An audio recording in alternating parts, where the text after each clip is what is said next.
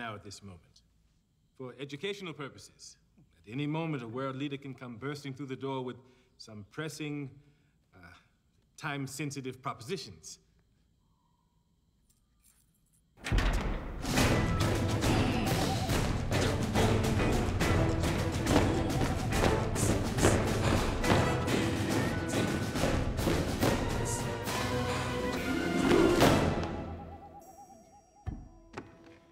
General Izzi, what a totally unexpected surprise. King Akeem, I have come to give you congratulations for locating one of your lost spurs.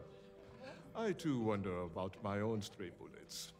Thank you for your kind words. ah, but I've not come with just words.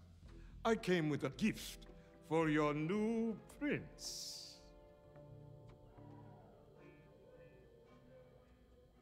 With your permission, King Akeem. My permission is granted.